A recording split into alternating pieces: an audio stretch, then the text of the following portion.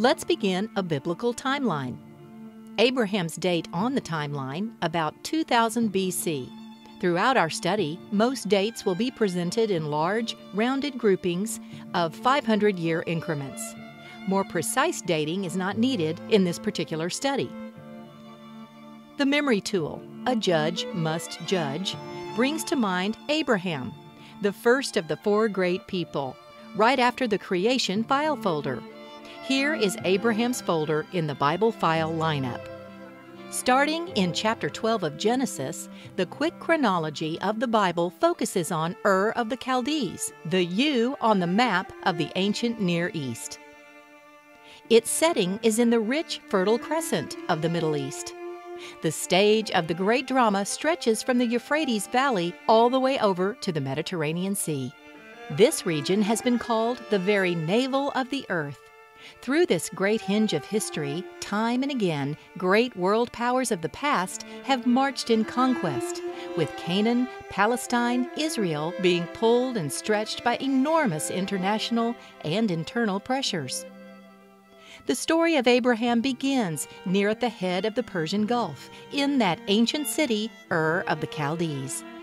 Abraham and his family lived in this early cultural center in the Mesopotamian basin.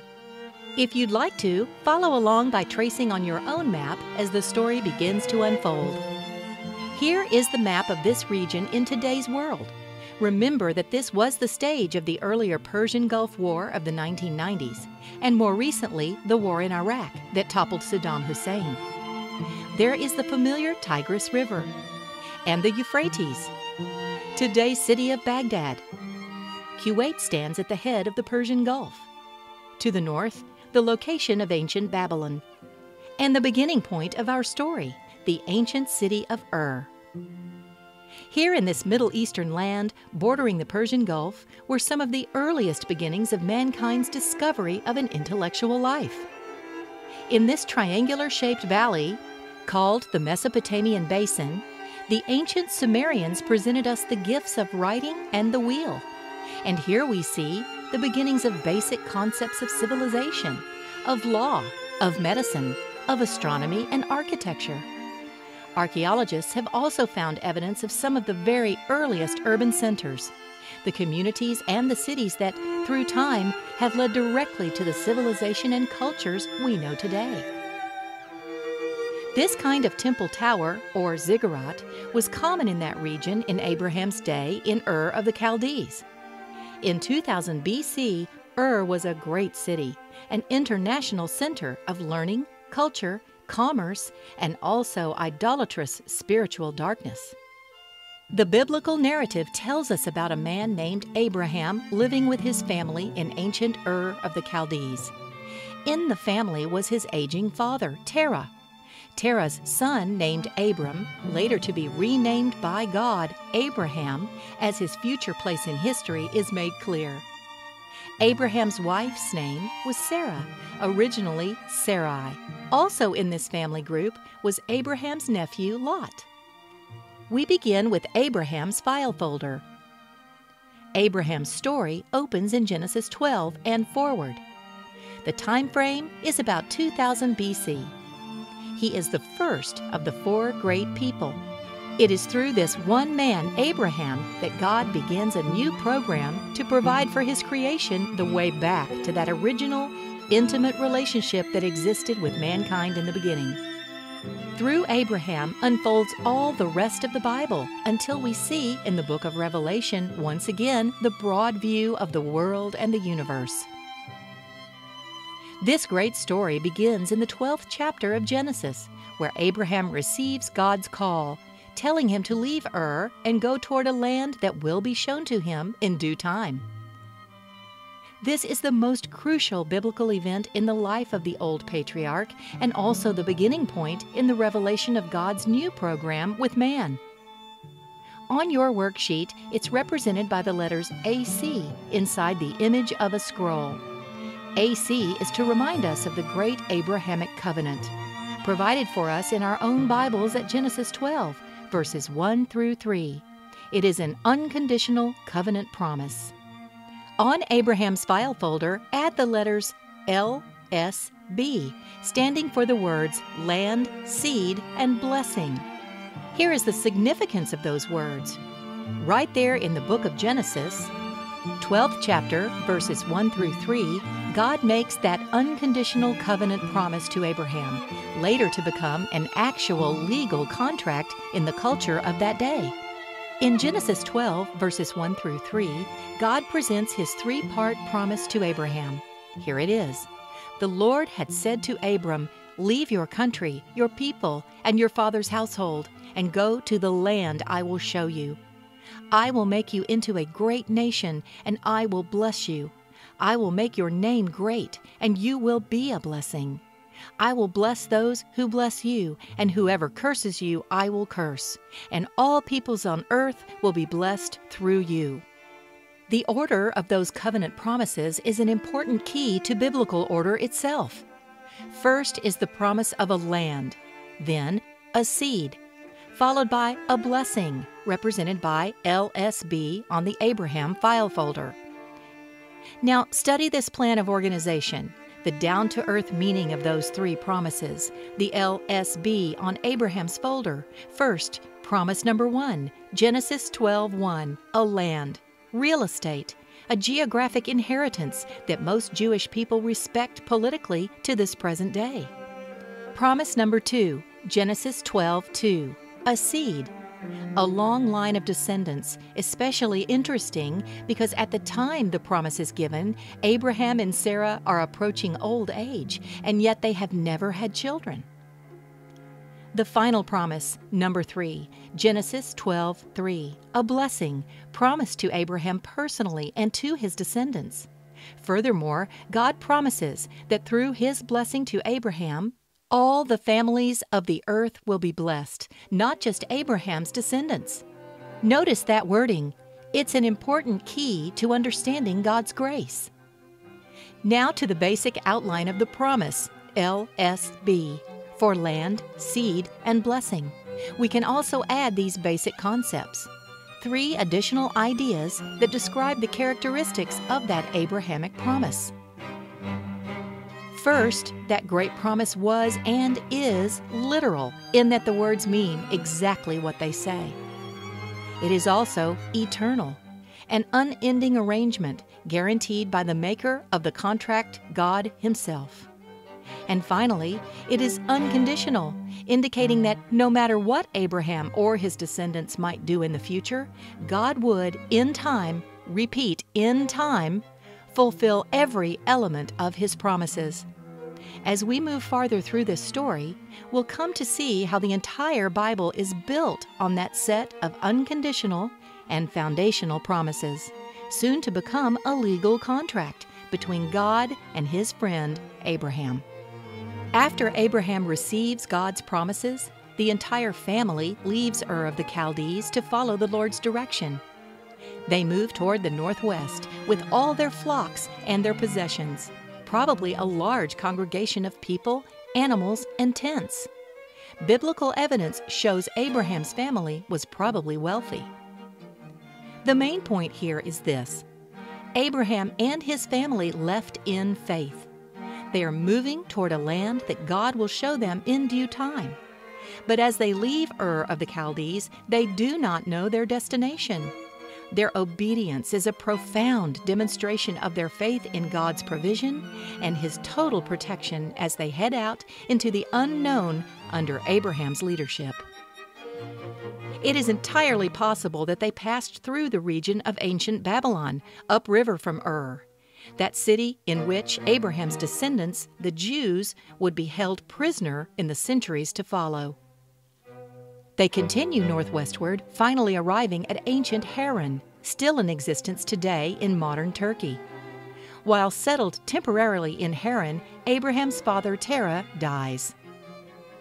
Once again, God speaks to Abraham, instructing him to now leave Haran and move onward toward the land he had promised to show him. That land is Canaan, or the land we call Israel today. When he enters the land, Abraham is already 75 years old, and his wife Sarah is 65. And yet God has promised them children. What? Was God teasing the old couple? children promised at that age? Yes, Abraham continues to believe God's promise of a land, a seed, and a blessing. His simple, unquestioning belief is told to us in Genesis 15:6, where God counts that belief as righteousness on Abraham's part. Just simple belief. This is the first step in the new program of redemption God will introduce to the earth through his old friend. Abraham truly believes that God will accomplish what he has promised, and the years pass. In spite of God's clear promise, Abraham and Sarah become impatient as they wait for the children God had promised them. In her impatience, Sarah suggests that Abraham go into her Egyptian servant girl Hagar, hoping that through that union the promised child might be born. That was not unusual in the culture of their day.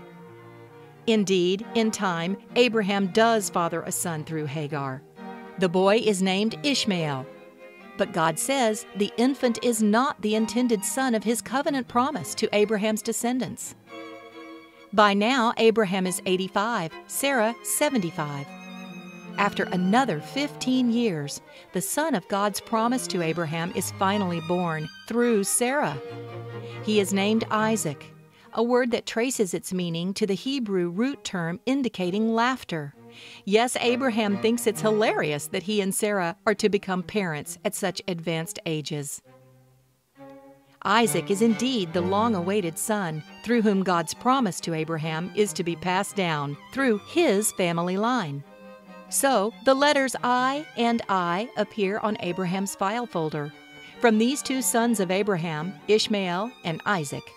Right here at this critical historic point, the terrible Jewish Arab conflict of our own time begins, some 4,000 years ago, around 2000 BC.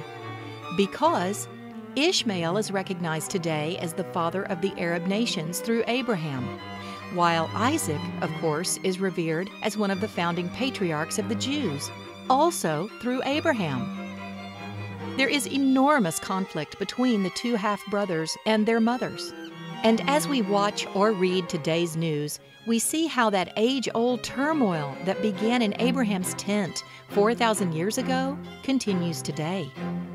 Both the Jews and the Arabs claim Abraham as the beginning point of their respective peoples. The question then arises how do we know which son was really the inheritor of the Abrahamic promises? Look at Genesis 22 2. Then God said, Take your son, your only son, Isaac, whom you love, and go to the region of Moriah. Sacrifice him there as a burnt offering on one of the mountains I will tell you about. Look at this study note from the NIV translation. In Hebrew text, Isaac follows the clause, whom you love, in order to heighten the effect, your son, your only son, whom you love, Isaac. Isaac was the only son of the promise. Here also you'll find in 2 Chronicles 3 1 that God identifies Moriah with the Temple Mount, which today is the site of the Muslim Dome of the Rock.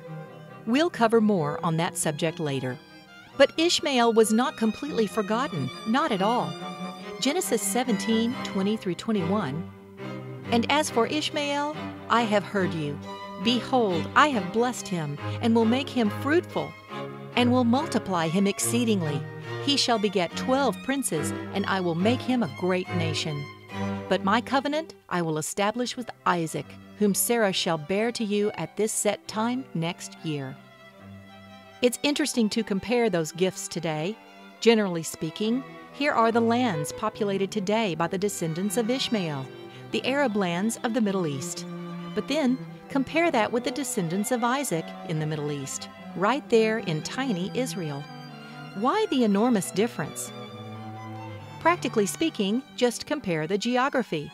Today's Israel versus the rest of the Arab world.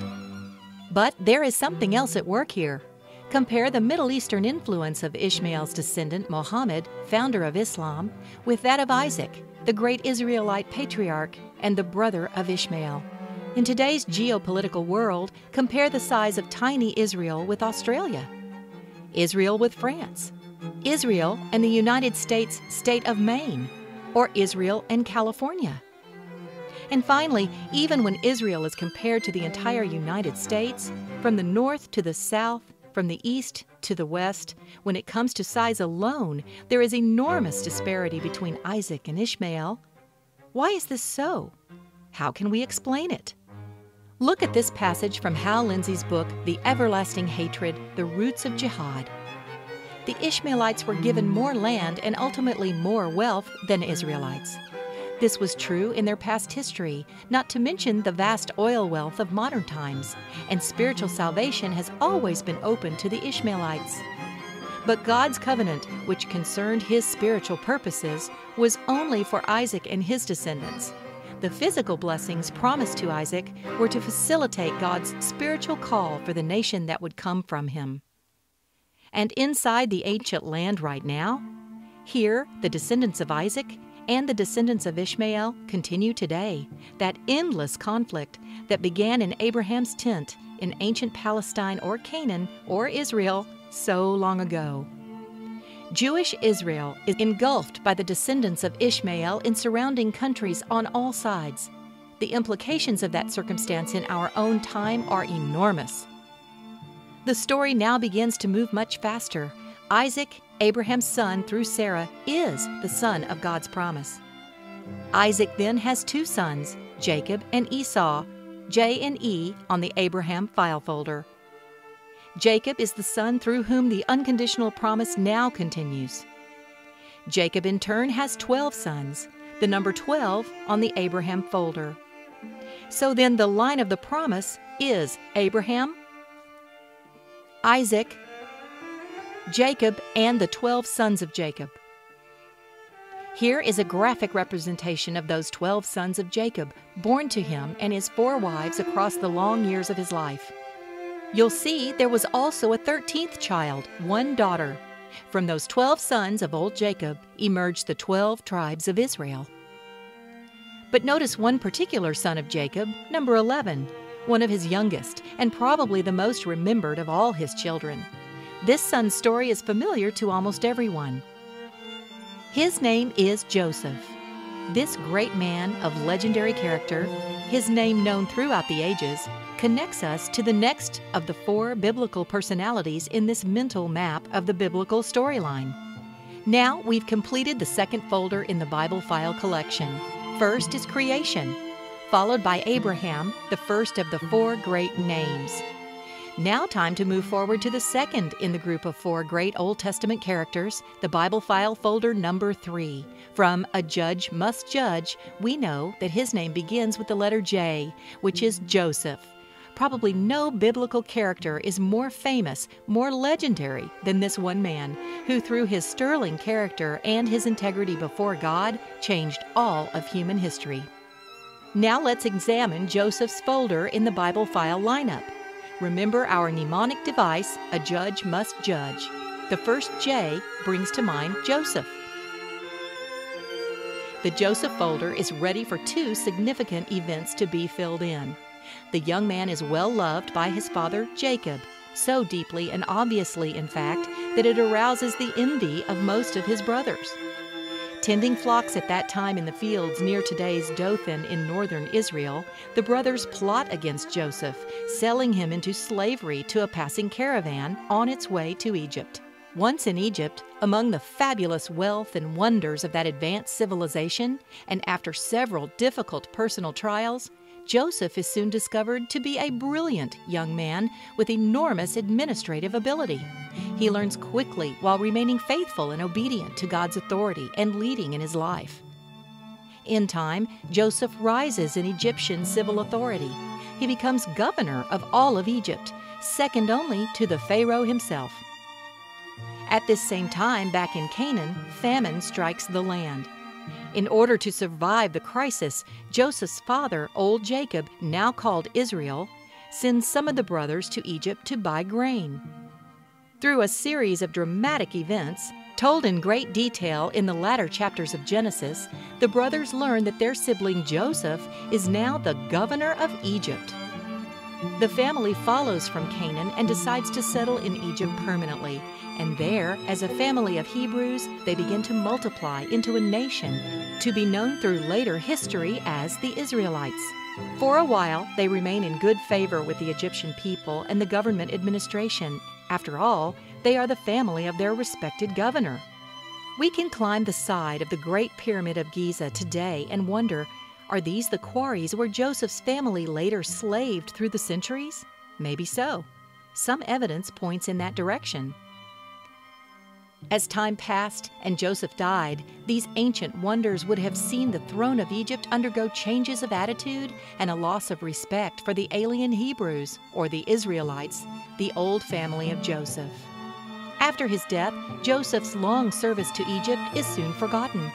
While at the same time, as a population, the Israelites are multiplying rapidly, having lots and lots of children, soon becoming an enormous social problem and a serious national threat to their Egyptian overlords.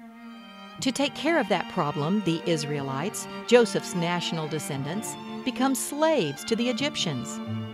Israelites are in Egypt for some 430 years. Much of that time is lived out under the terrible bondage of Egyptian slave masters.